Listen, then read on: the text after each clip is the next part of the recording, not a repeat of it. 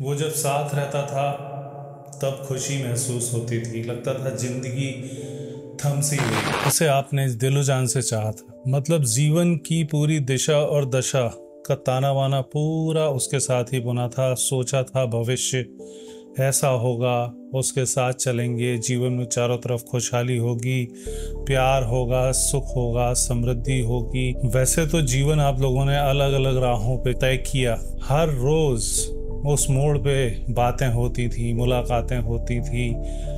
भविष्य के सपने संजोए जाते थे, मिलकर कैसे जिएँगे, कैसे अपना जीवन बिताएँगे।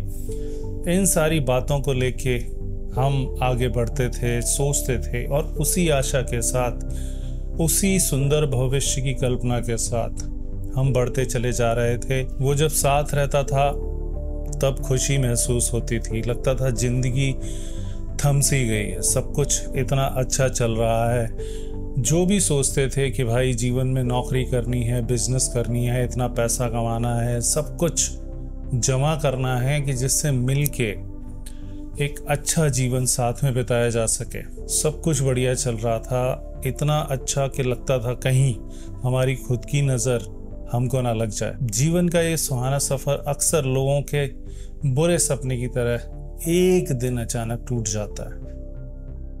रास्ते वही हैं, साथी भी वही है, लेकिन अब वो बातें नहीं होती, अब वो मुलाकातें नहीं होती। समझ नहीं आता कि अचानक ये हुआ क्या।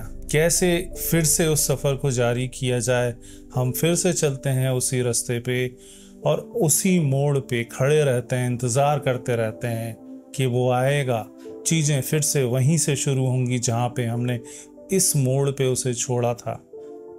लेकिन ज़िंदगी किसी खूबसूरत फ़िल्म या नॉवल की भांति नहीं चलती दोस्तों। जीवन में वो अचानक से आया हुआ पड़ा हमेशा के लिए सच्चाई बन जाता है, जिसे हम सपना समझकर झुटलाने के प्रयास में लगे रहते हैं, लगे रहते हैं, लगे रहते हैं। लेकिन वो सपना बढ़ता ही जाता है, आगे बढ़ता ही जाता है और अंधेरा फैलाता चला जाता है जीवन में। जीवन में डिप्रेशन हताशा, निराशा, अवसाद, कुंठा और केवल अंधेरा ही अंधेरा दिखाई देता है। क्योंकि जीवन की पूरी जो योजना हमने बनाई थी, जीवन जीने का सारा ताना बाना कैसे कैसे उस हिस्से को संजोएँगे, कैसा घर होगा, कैसा परिवार होगा, कैसा भविष्य होगा, ये सारी चीज़ें उसी केंद्र बिंदु के आसपास ही तो ड्रॉ की गई थी।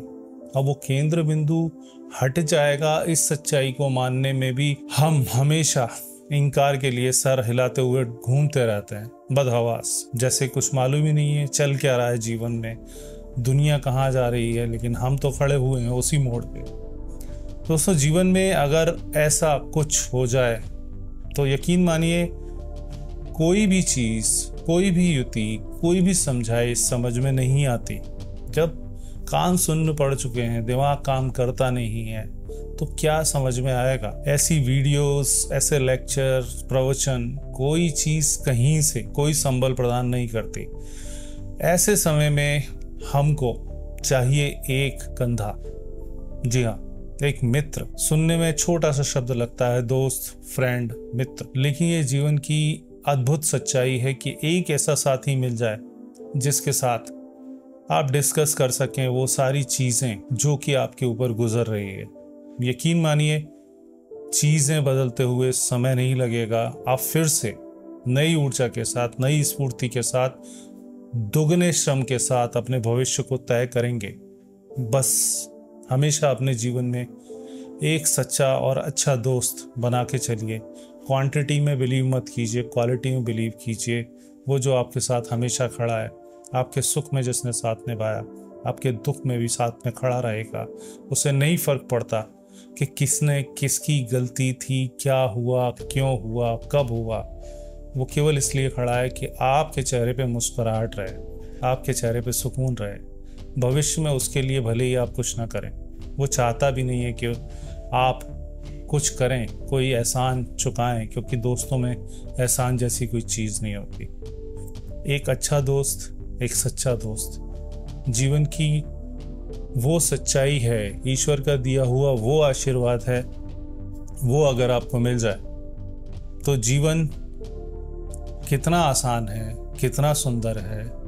ये दुनिया कितनी मनोहारी है। एक एक सांस जो आप लेते हैं, वो कितना उत्साहवर्धन करती है। प्रकृति में उपस्थित एक एक कण कितना मधुर संगीत बजाता है। वो सब आपको महसूस होने लगेगा। पुनः, किसी व्यक्ति की ज़रूरत नहीं है। आप स्वयं इतने शक्तिशाली हैं।